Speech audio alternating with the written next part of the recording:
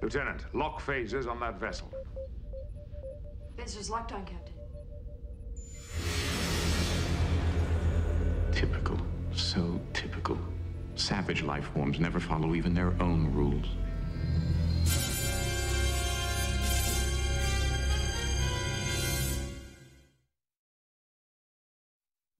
Get off my bridge!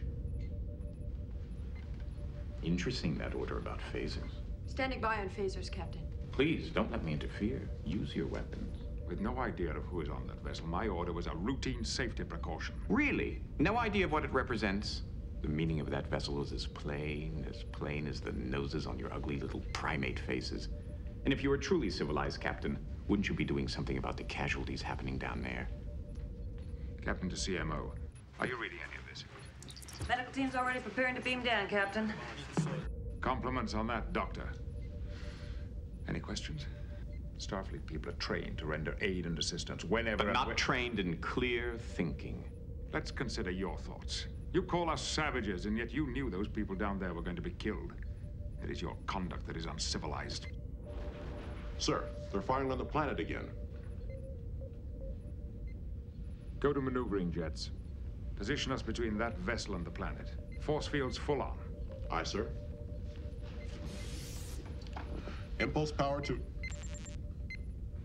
We have no ship control, sir. It's gone. Captain from transporter room. First officer and Mr. Data have beamed aboard. Excellent also. Perhaps with more of these little minds helping. That is enough, damn it!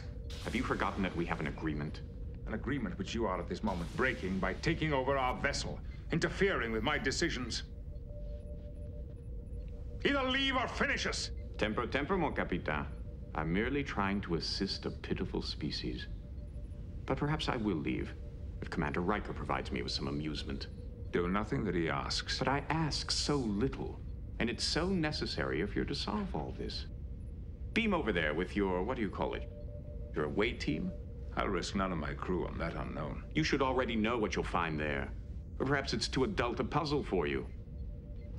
With all respect, Captain, I want to beam over there. You show promise, my good fellow. Have you understood any part of what he's tried to tell you? Humanity is no longer a savage race.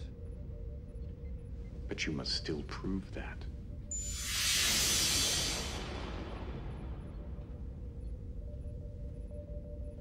At least you impressed him, number one. That's hopeful. Thank you, Captain. Captain, if he's not open to evidence in our favor, where will you go from there? I'll attend to my duty. To the bitter end. I see nothing so bitter about that.